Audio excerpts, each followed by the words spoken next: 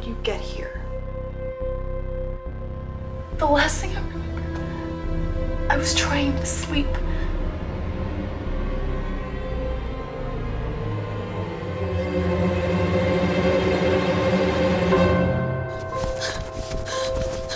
I had a bad dream. When I woke up, and you weren't here. This is not a hospital. Lights won't turn on, doors will not open, and then when they do, you go through them and you're in a new place. I know you're not what you say you are.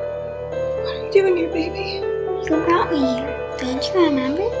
It's okay, Mommy. I forgive you. That thing won't leave me alone. It won't let me leave. She's not done here.